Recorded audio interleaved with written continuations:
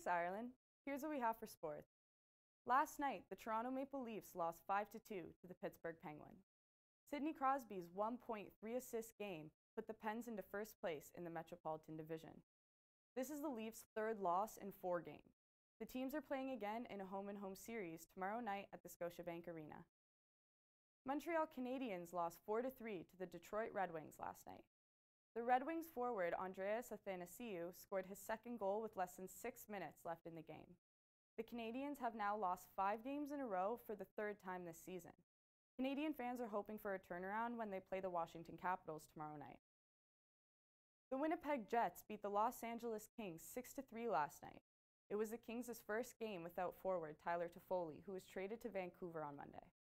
Blake Wheeler, the captain of the Winnipeg Jets, scored twice and added an assist on his 700th game. The Jets will be playing the Ottawa Senators tomorrow night. Ottawa beat the Buffalo Sabres 7 4 last night as Craig Anderson made 23 saves to pick up his 200th win with the franchise. The Senators had a lot to celebrate, scoreboards aside.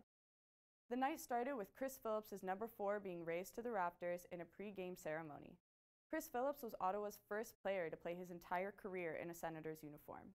He holds the franchise record for games played, reaching 1,179. The Toronto Raptors are returning to the court this Friday to play against the Phoenix Suns. This is following the NBA All Star break that happened over the weekend. Toronto will look to start a new winning streak after their 15 game streak was broken by the Brooklyn Nets. Humber men's basketball will wrap up the 2020 regular season tomorrow morning. The Hawks will be playing against their rival Sheridan College at Humber's North Campus gym. Humber women's basketball is also concluding their regular season tomorrow. The Hawks will be playing against Sheridan College's women's basketball team at Humber's North Campus gym.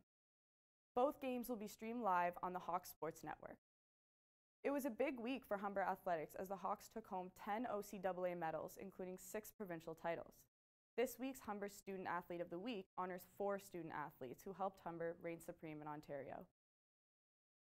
Humber's Department of Athletics and Recreation is hosting a Nerf game tournament at the Lakeshore campus's main gym.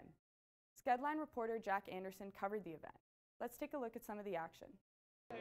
Bring community gathering kind of thing. Just get people de-stress from exams because they already know this week is exams. So the best kind of get people out of their books. And a lot of people don't know that we exist on campus. So we want to people know that athletics is more than just basketball and soccer. That we have a lot of fun games. For more fun from Humber and news on future events, check out humberathletics.ca. Now throwing it to Maddie Sear to close the show.